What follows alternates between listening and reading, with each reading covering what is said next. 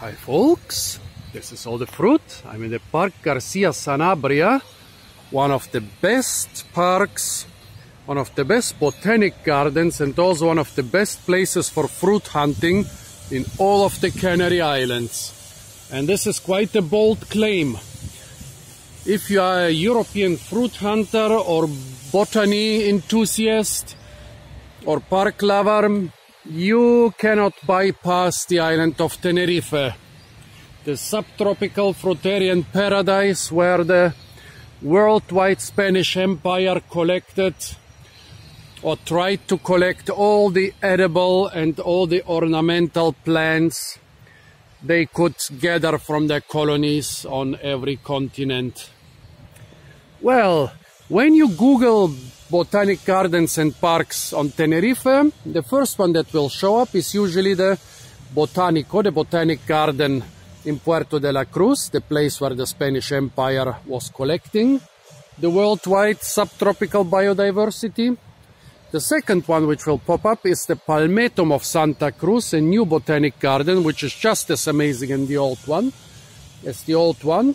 And then you'll get a lot of other results like Parque Taoro, Hotel Tigaiga, Hamilton Gardens, Sitio Litre, Jardin Aquatico, which has been closed recently, unfortunately, and also the name Garcia Sanabria, which will probably get kind of buried among all the other names. Like most botanic enthusiasts, they will visit the Botanico in Puerto, the Palmetum in Santa Cruz and then they will visit a couple of the other parks and decide that they're actually not so much more interesting than a normal ornamental and fruit bearing plants you can find in residential areas or on farms and markets. And most of them will bypass the Parque Garcia Sanabria, which is a pity because if you have time to visit only three parks in Tenerife for exotic flora and especially for exotic fruit trees, those three places should be the Botanico in Puerto, the Palmetum and the Parque Garcia Sanabria. I guess it's not making so much um, as uh, so much advertisement because it's a free park. As you can see, you can walk into the park from every one of the surrounding streets, day and night, and look at the nice stuff here. So let's look at some of the nice stuff. Brachychiton populneus, and next to it stand Brachychiton discolor. Over there a couple more Brachychiton discolor. The Kurrajong. Both species are called Kurrajong and are being harvested a lot. They are like one of the staples of a lot of Australian Aborigine cultures. However, very dangerous to harvest. Don't do it without extensive googling. Here we have I thought that this is Monstera, but it seems that this is the similar Epipremnum. Well, there should be some delicious Monstera deliciosa around here. It's a really big park, so I'll walk a little bit faster and concentrate on the fruit trees. Canary date palm and caryota with not such good fruit, but still edible. This is some sabal, some cabbage palm. In the background, the huge trees, Ficus, probably Ficus lyrata, but not one of the really good fruit trees. Here a little bit hidden, one of my favorite fruit in the world. Casimiroa edulis, or the white sapote.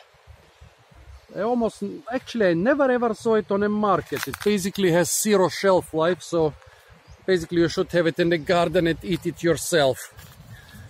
Fortunately, the season is over and they are just the huge seeds lying around everywhere. What a pity, it's such a tasty fruit. Okay, don't eat the toxic, uh, don't eat the toxic oleander, don't even touch it. The pitanga or Suriname cherry, but it's flowering now, no fruit. Mm. Uh, some rosemary to spice up your cooking. Here, the famous ice cream bean, few people have seen outside of Latin America.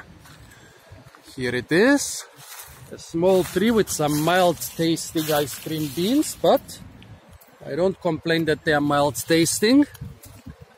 Mm. The ice cream beans after all. Look at that. All this nice edible pulp mm, surrounding the seats. Mm. Wonderful ice cream bean. A calabash or miracle fruit tree. One almost mature miracle fruit hanging right here in almost three meters above ground. A couple non-pollinated flowers it seems. Here a nice pollinated, well a, a nice flower which is trying to get pollinated and the young fruit solo above ground that I wonder whether the rats or the kids will get it first.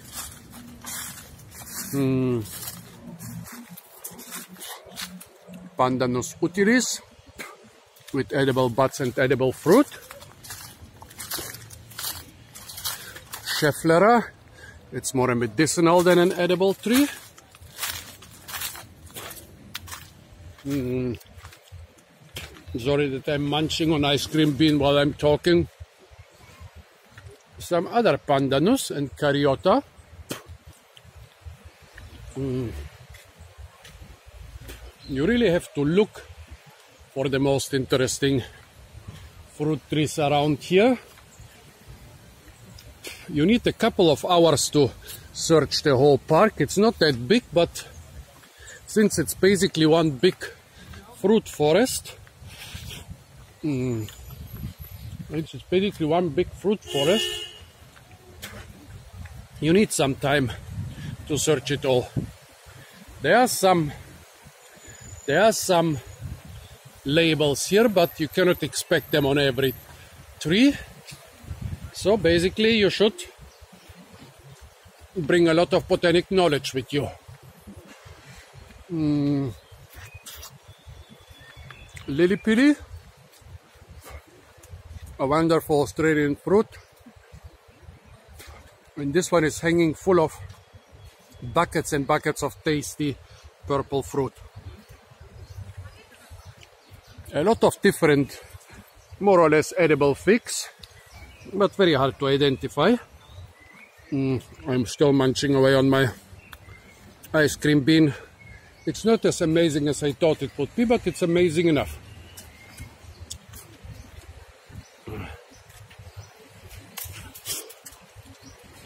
mm, what's littering the ground here there is a huge there is a huge tamarind tree here. Let's find some less trampled tamarind fruit on the ground or some other way to show it to you.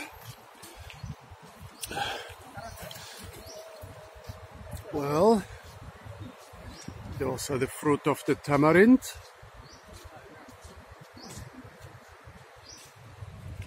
Here there was another nice lilly pilly. Araucaria heterophylla.